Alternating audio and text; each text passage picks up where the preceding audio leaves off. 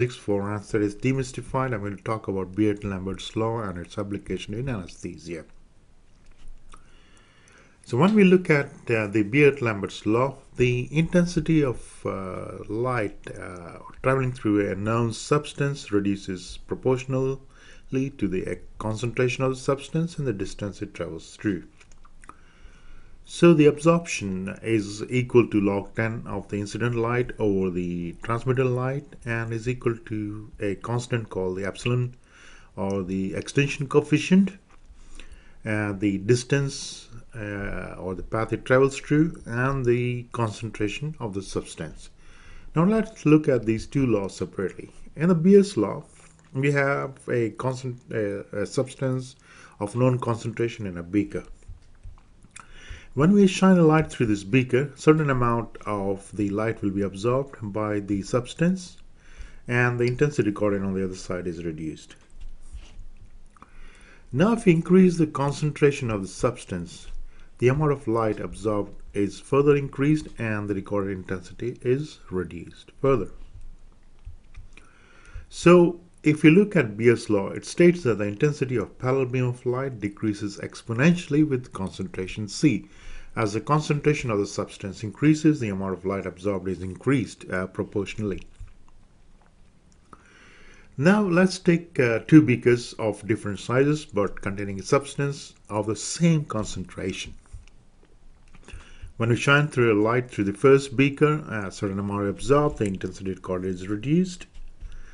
But when we uh, shine the light through the larger beaker, the amount of light absorbed is re uh, reduced further and the concentration recorded is much lower than the first one.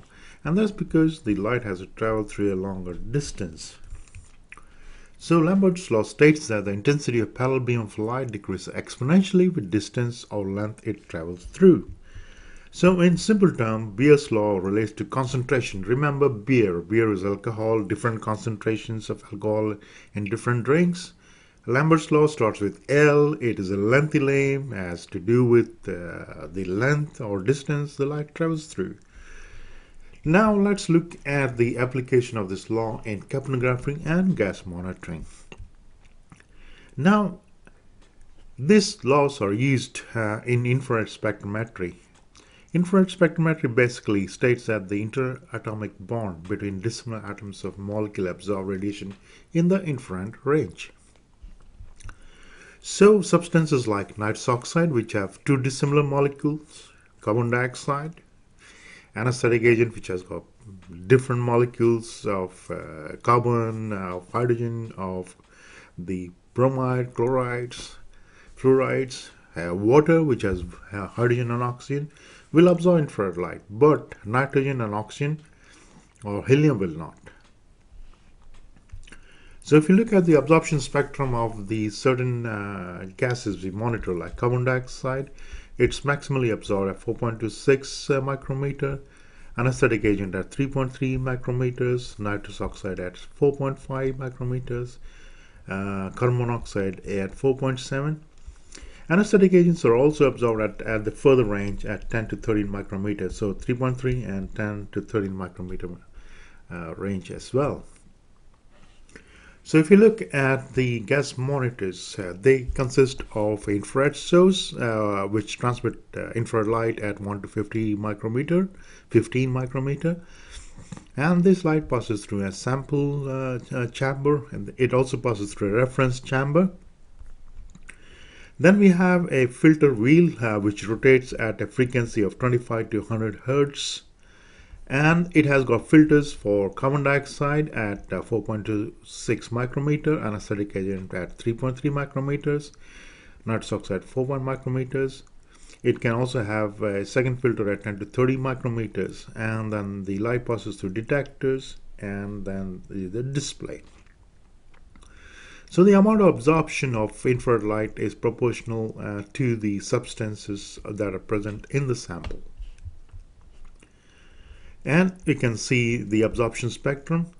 But what is important is that in the range of 3 to 5 micrometer, the absorption spectrum of carbon dioxide, nitrous oxide, and carbon monoxide is very close by.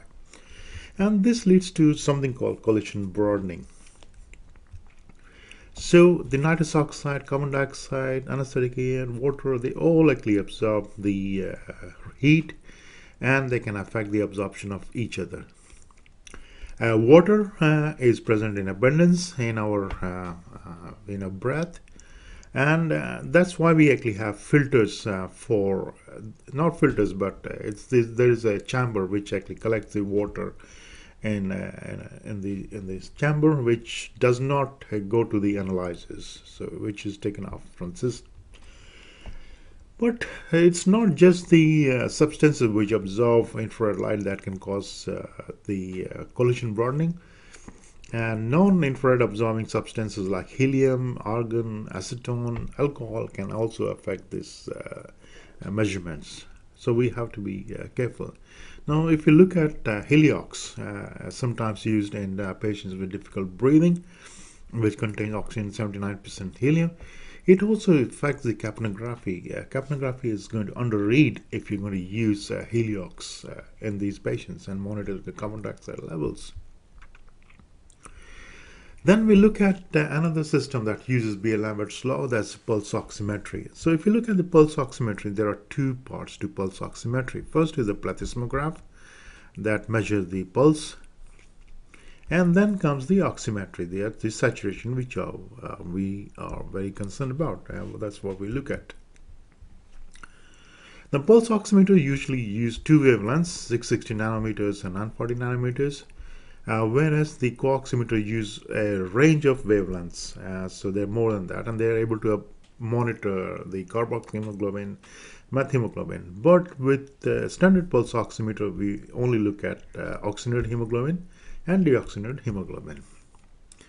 And for the exam purposes, you should be able to draw this line. So what you do, you have a graph x-axis wavelength nanometers, absorption uh, on the y-axis, and then you uh, put down the uh, values for that, 600, 700, 800, 1000, and then you draw a tick mark. And then that is for oxygenated hemoglobin, and then a hills and valleys. And that is for the deoxygenated hemoglobin then you draw a line through 660 nanometers that is the red range so maximum absorption of the deoxygenated hemoglobin occurs here. And 940 nanometers where the oxygenated hemoglobin is absorbed. The point where uh, both uh, the absorption is equal is known as the isosbestic point and this is around 800 nanometers. So we all know that in a pulse oximeter there is a probe uh, which sit across uh, the uh, thumb or the fingers and uh, on one side we have the uh, source of light uh, which transmit lights at 660 and 940 nanometers and on the other side is the receiver. And this information is then fed to the pulse oximeter. Now how does a pulse oximeter give us that reading of 97 98 percent? And that is very very important. And to understand that, we need to understand something called AC and DC components. So when we look at the finger, what we have is that we have the uh, pulsatile component, which comes mainly from the arterial blood. But the non-pulsatile components not only comes from the venous blood, but it also comes from the other tissues. So light passes through this pulsatile and non-pulsatile uh, component uh, and uh, this is detected and uh, so we have the measurements at 660 nanometers and 940 uh, nanometers. And this is the raw transmission signal. What the pulse oximeter now does it that it need to equalize the uh, numerator or the DC component. So they are made equal and then we look at the ratio absorption at these two wavelengths. Okay so uh, we look at AC 660 by DC uh, 660 and AC 940 by DC 940 and this gives us a ratio called absorption uh, ratio the R. And this is plotted on a graph. And there we get the values when the absorption is around 0.6 we get a value of 97% but when the absorption is equal ratio is equal we get 85% and this is very very important. These values are actually drawn from volunteers and because volunteers cannot be ethically desaturated below 80%, any reading below 80% is an extrapolation. and cannot be trusted. There's limitations uh, with pulse oximetry and some of them are safe. Uh, they can be because of mechanical uh, artifacts, uh, because of movement artifacts. They can be from the interference, from magnetic interference, electromagnetic interference like diathermy. And they can be physiological. We know that if the uh, there is a shutdown, the uh, pulse volume is low or the rhythm are irregular, and then the saturation can be affected. But these are safe limitations. But there are certain unsafe limitations we should be aware of. Like I mentioned, the calibrations occurs uh, using uh, the volunteers where they cannot be desaturated below 80%. Uh, so the accuracy below 80, percent is, is reduced. Uh, flooding and penumbra can actually affect. This is seen when you actually use a large probe in a small finger, like in pediatrics, uh, the uh, incident, the, the ambient light can affect the reading, and that's why we should uh, be sure that either the probe is covered or use the right size probe. Then there are other physiological uh, limitations like uh, abnormal hemoglobins, uh, absorbance, and pigmentation, dyes, delays, and pulsatile veins. And some of this we're going to discuss a little bit. carboxyhemoglobin uh, overreads because the absorption of carboxyhemoglobin is in the oxygenated hemoglobin range at its maximum at 660 nanometers. Whereas with methemoglobin, uh, it depends on the level of methemoglobin. So if the uh, level of methemoglobin is, is actually very less, it will uh, tend to actually still read 85% and that means uh, it is actually under reading even though saturation may be around 93 94% it's actually uh, under uh, reading the saturation. Whereas if the level of methemoglobin increases very high so if you take a sample and measure it uh, the saturation may be around 80, 80 to 83%, but the uh, pulse oximeter will read 85% because the absorption at 660 nanometers and 940 nanometers is equal uh, for AC and DC component with methemoglobin. So it tends to overread uh, when the levels of methemoglobin is, is very high. Fetal hemoglobin, skin pigmentation, bilirubinemia, they do not affect oximeter reading and uh, the cold vasoconstriction, vasodilatation uh, that occurs in septicemia, they affect the pulse oximetry, uh, sorry, uh, plethysmography. They don't uh, affect the oximetry. Oxygenation, oxygenation can be still be measured. It may not be uh, giving a reading constantly, but they affect the plethysmography, not the reading of that. thank you very much.